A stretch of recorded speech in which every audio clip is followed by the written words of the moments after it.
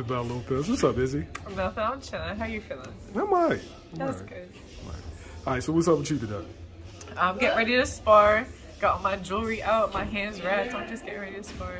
We're, we're waiting for the guys right now. C4 or Qua Quadir. Mm. Shout out to him. He's doing his thing. He's back in the gym, you know. Promo. but yeah, I'm waiting. How many rounds you doing today? I don't know. I got we got two different one, two, three, four, anywhere from six to eight. We'll see. Depends on how much time I have. Okay.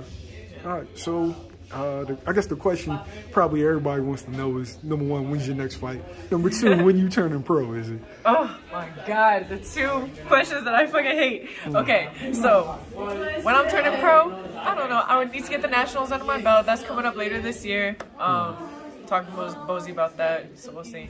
As of right now, I'm focused on like big, bigger tournaments and like bigger competitions because the small hmm. shows and the, those fights that's cool and all, but it's harder to get them, especially over here. Like I know most of the girls, spar most of the girls, and like I don't know, it's man and Pooh have been having a hard time when it comes to getting fights, so I'm just waiting right now.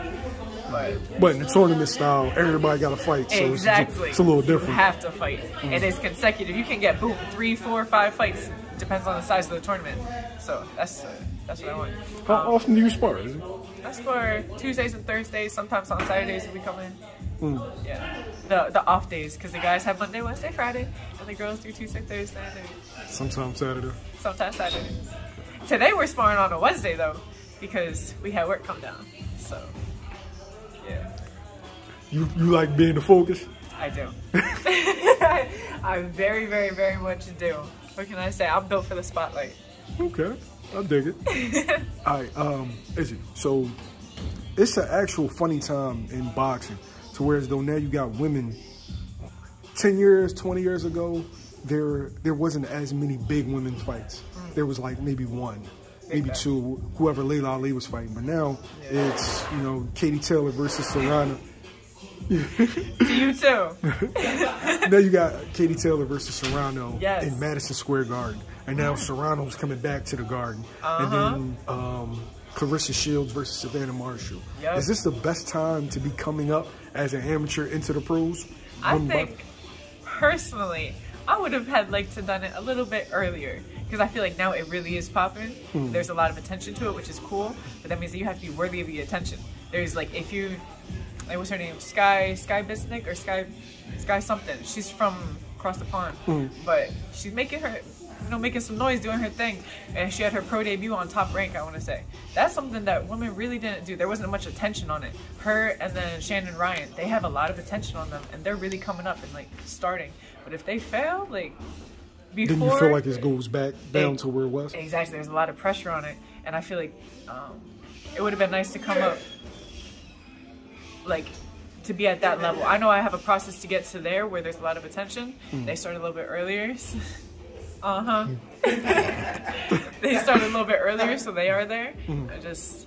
I don't know. I wish I could have come up at that same time as them, but I'm coming right. They're like clearing a path. So you know what? I changed my answer. I just talked myself out of it. Yes, this is the best time. It's the best time. This is the best time to come up for sure. All right, so if everything goes right in the next five years, where's Isabel Lopez? Okay, I will be fucking world champion. that is exactly what I'm gonna do. Where you headlining at? Because you you're Italian and Mexican, so you headlining in Texas, you headlining in Cali, you headlining in New York with the Paisanos.